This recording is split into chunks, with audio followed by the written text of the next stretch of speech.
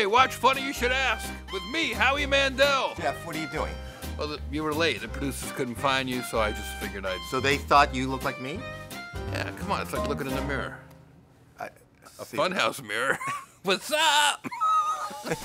In the original printed version of Superman, he was bald. It's a bird. It's a plane. It's me. it's me. Weeknights at 8 on WBNX TV 55.